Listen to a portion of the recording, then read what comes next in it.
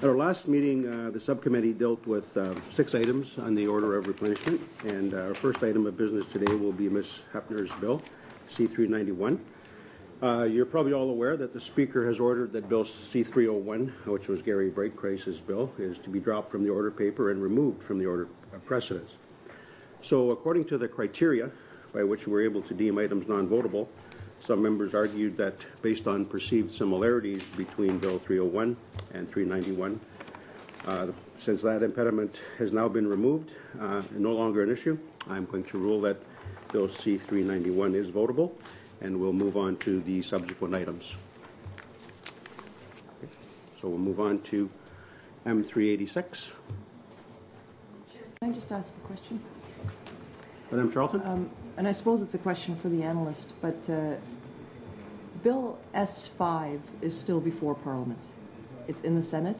It's identical to C391. Um, and it's my understanding that one of the criteria is about bills that, uh, that are identical before Parliament.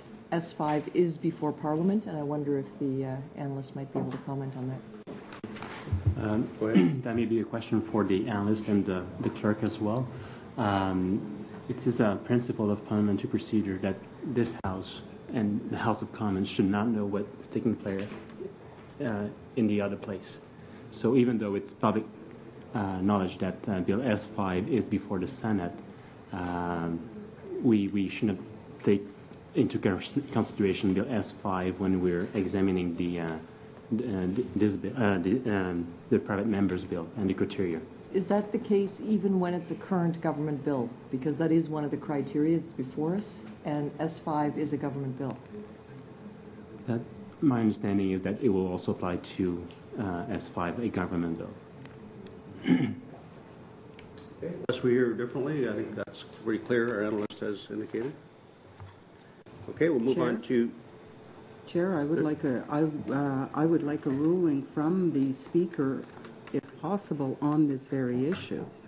Um, whether or not, or a ruling from you, given that you are the chair, given that the government has an item of business which is identical to that which Ms. Hoeppner has put forward in Bill C-391, um, whether or not, in fact, um, that can be taken into consideration. with all due respect, I I think we have the four criteria outlined clearly before us upon which bills are votable or non-votable. I think it's up to this committee to decide their votability, not the speaker. Uh, But I- I'm, oh, Mr. Reid, you wanted to comment? Well, yeah, I just uh, have the list of criteria as decided by the uh, uh, Committee of Procedure and House Affairs. Uh, under the standing orders, the criteria made by the Procedure and House Affairs Committee are in fact part of the standing orders, although not contained therein. And uh, the four criteria include um, items three and four. I'll read them both. Item three is the item on the basis of which uh, opposition members opposed allowing Bill C-391 to go forward while Bill C-301 was on the order paper. The argument there, the criteria is, I quote, bills and motions must not concern questions that are substantially the same as ones already voted on by the House of Commons in the current session of Parliament, or as ones preceding them in the order of precedence. Uh, that, that, criteria is no longer met. Item four, which I assume, criteria number four is I assume what uh, uh, is being referred to here, and I'm, I'm quoting again, is bills and motions must not concern questions that are currently on the order paper or notice paper as items of government business.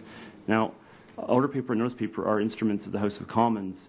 The Bill S5 uh, is in the Senate and therefore is neither on the order paper nor the notice paper. Therefore, there is no need to fear that uh, uh, Bill C-391 would in any way be a, um, a, out of order on the basis of where Bill S5 is. It would be different if Bill S5 had been passed by the Senate and was now before the House on the notice paper, order paper, but it isn't. Okay. And then checking with the clerk as well, it's clear that it's referring to items that are uh, in the House of Commons, and that one is not. So, Ms. Charlton? Um, Chair, appreciate that guidance, and uh, just heard you say that uh, it's not a matter for the Speaker, but that we vote on the bill, so I wonder if we could have a vote on uh, Bill C-391 then. Sure. Uh, Mr. Reid? Thank you, uh, Mr. Chairman. I- I'm just curious if the intention here, I should advise members, I- I'm sure everybody is going to vote uh, based on the criteria. If the intention is to uh, vote with no actual criteria against the bill, uh, in order to stop it from going forward, I would just remind the opposition members of, of two things. One is that we are meeting in a public session, so their vote is now on the record. And uh, number two, that uh, it simply would be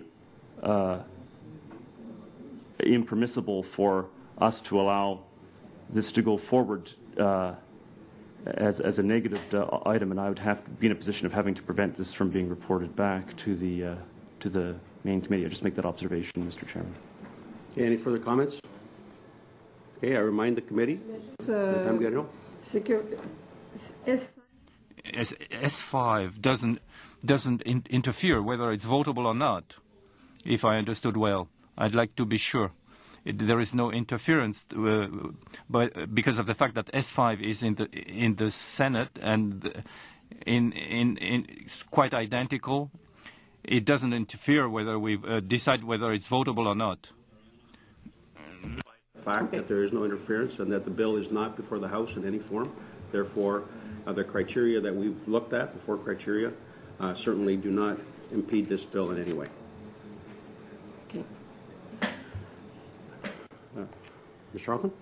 I uh, just wonder if you could remind me, in the House, when uh, Mr. Breitkreuz's bill was before the House this morning, um, I know that he wasn't in the House to uh, move the motion on the bill, and therefore it wasn't debated, but was it, and I know it was dropped in the order of precedence, was it actually withdrawn? And my understanding is that there were multiple attempts to have the bill withdrawn, and because it was not debated this morning, it's automatically ruled by the Speaker that it's no longer, but I'll I'll look to my clerk for that. The bill was dropped from the order paper, so it's no longer in front of the House now. Okay.